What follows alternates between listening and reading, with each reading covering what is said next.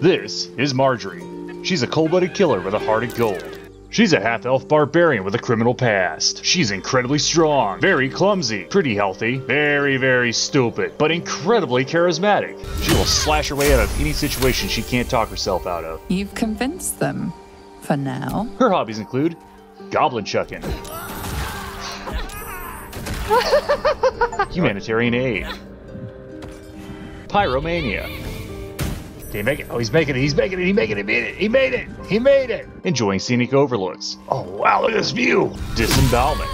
Befriending animals. Primitive lockpicking. Bungee jumping instructor. Oh, no. Writing songs and laying down a sick beat. Voyeurism.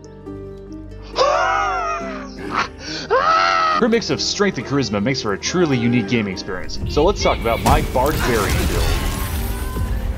Now bear in mind I'm still on my first playthrough and I'm only up to level 5. I also have zero experience with D&D, so I may not have all the information needed, or I could be wrong about a couple things. So I would like to open the comments up to tips and tricks, feedback, and constructive criticism as long as you're polite. I would say this is a very good beginner build. The Barbarian class is very simplistic, you just hit stuff, and the high charisma opens up a lot of paths in the story, so you can you can get more out of it. Now of course everybody's playstyle is going to be different. I built my character around compartmentalization and simplicity. Everybody's got a job to do. Marjorie and Karlach handle the frontline fighting since they are both barbarians. Astarion handles all my range work and all my sneaky boy stuff. Early game Shadowheart was handling all my heals, but now she's more of a close range support. And if I need any smart people stuff, she's got the wisdom and intelligence to handle all that for me. So obviously, since we're going Barbarian, we want to pick the Barbarian class. This gives us Rage, Unarmored Defense, Strength Saving Throw Proficiency, Constitution Saving Throw Proficiency, Simple Weapon Proficiency, Martial Weapon Proficiency, Light Armor Proficiency, Medium Armor Proficiency, and Shield Proficiency. And these here I my stats. We're very strong, pretty clumsy, somewhat healthy, incredibly stupid. As a matter of fact, I do want to chop down this wisdom a little. We'll throw that into dexterity. There we go. And incredibly charismatic, with a plus two bonus to charisma and strength. And our skill proficiency is very high athletics, pretty high animal handling, pretty high perception, plus five to deception, which I think comes from being a criminal, intimidation from the barbarian, and plus three to performance and persuasion. I believe those come from charisma. We got negative one in anything that deals with dexterity and intelligence. As a matter of fact, now I remember why I had those extra points into wisdom because it affects my animal handling. And if it's not blatantly obvious, our physical appearance is based primarily off Harley Quinn, and our personality is based primarily off Mar Marjorie Tyrell from Game of Thrones. Now, the barbarian levels are very, very easy. For level 2, all you get is a health increase, danger sense, and a reckless attack. That's it.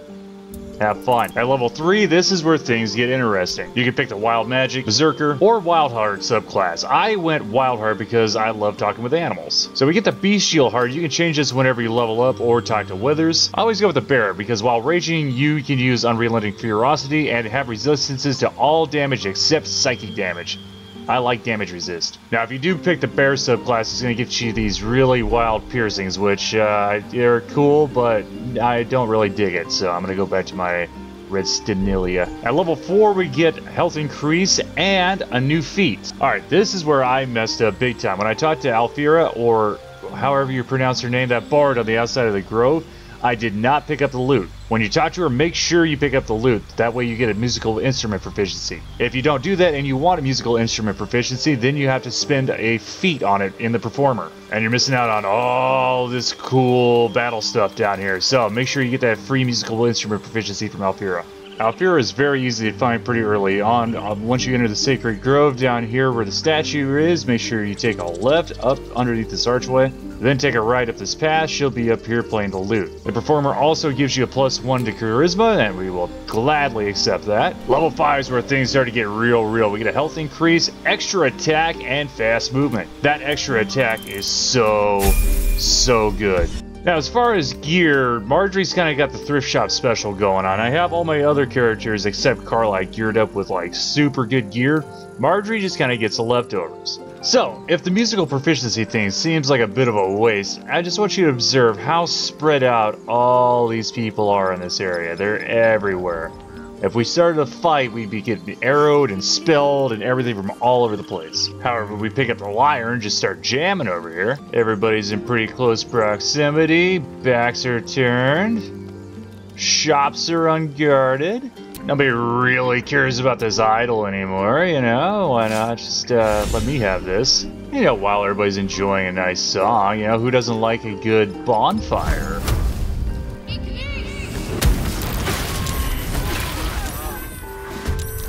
Well, that solves a whole bunch of issues now, doesn't it? Out of all them people, looks like two of them survived with, like, mangled health. And that, ladies and gentlemen, is the power of music. Even if you don't have fire barrels, you can just come in and start sneak attacking everybody, get a, a huge advantage on them and not having to fight dudes up on ledges. In my opinion, being kind of a short-range hack and slash guy myself, not having to chase enemies down all over the map is pretty, pretty nice. I wanted a character with very high charisma because in almost every other game I've played with charisma, you, there's always some sort of charisma check you have to pass. This can get you out of having to spend a lot of money, it can get you out of trouble with the law, you can coerce NPCs to work for you. All around having one character with incredibly high charisma to do most of the talking is very valuable. Coupled with a couple of save scums, you can affect the storyline however you want. I like keeping my strength very high because of the throw and shove abilities. Using environmental objects to your advantage with a throw is is very useful. If you're strong enough, you can pick up enemies and throw them off cliffs.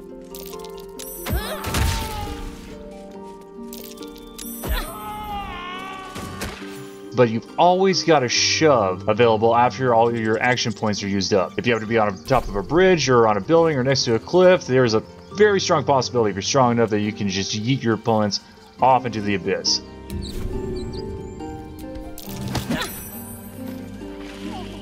Sometimes you sacrifice loot by doing that, but if it's on top of a building or into a hole you can get into, it's pretty easy to recover the loot. Also does a fair amount of damage. Overall, I think the Barbarian build is very effective, opens up a lot of interesting and entertaining gameplay options, is pretty easy to master, and is pretty strong if you use it tactically enough. Make sure you guys check out my Baldur's Gate Let's Play, if you enjoyed this video and want to see more like it, make sure you Spartan kick that subscribe button. Thank you for watching, I hope you enjoyed.